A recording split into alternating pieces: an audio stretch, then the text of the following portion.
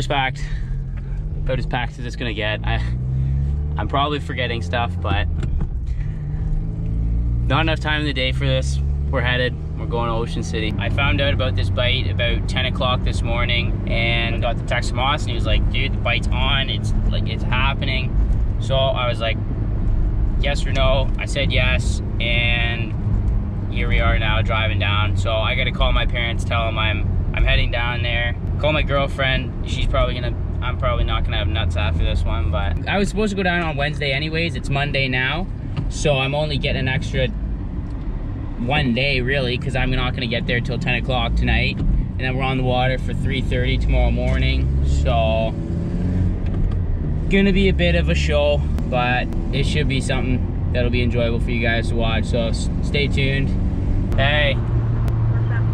Uh, Okay, sorry. I just wanted to let you know that uh, I'm. Uh, I, I've just left for Ocean City now instead of Wednesday. Okay. Okay, so I just I just wanted to let you know that. Another eight hours till we get to Ocean City, but I, I couldn't be more excited. Looking forward to seeing Austin and the boys, and hopefully get on some good tuna. Citizen of what country? Canada. Canada. Sorry. Uh, Ocean City, Maryland. Doing some fishing with a good friend of mine. Thank you.